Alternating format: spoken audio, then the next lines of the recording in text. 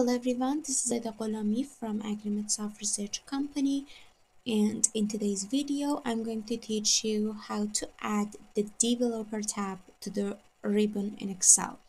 So as you can see here, the fast um, guideline I have uh, shown here, you just need to do some easy and simple steps.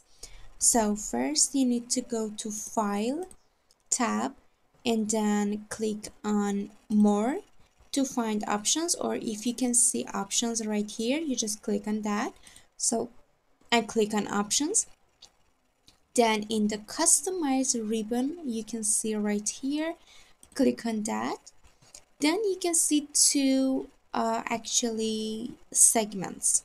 So in the customize the ribbon uh, that there is a list here if it's on all tabs or anything else click on main tabs.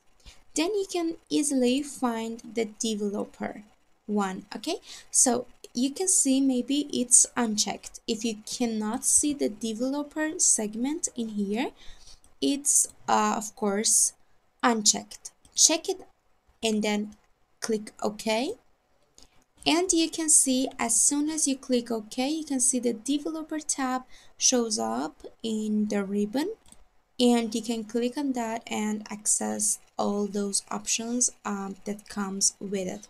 So for um, disabling uh, that also you just need to do the reverse of course.